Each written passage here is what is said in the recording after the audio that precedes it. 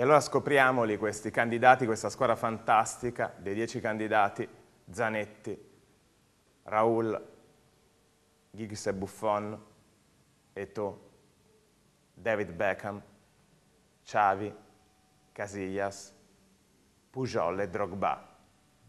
Francesca, hai visto che campioni, uno di questi sarà il tuo erede, ci sono dieci candidati, ecco tu chi voteresti?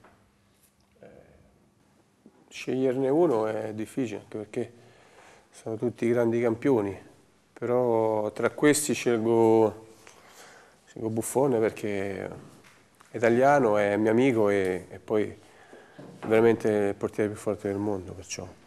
C'è un giocatore fra questi in cui ti ritrovi di più, quello che si avvicina di più al tuo gioco? Ma, eh, tra questi penso i tre attaccanti, Raul, Eto'o e Drogba. Sono questi quelli che cerco di, di imitare, quelli che siamo quasi simili, diciamo.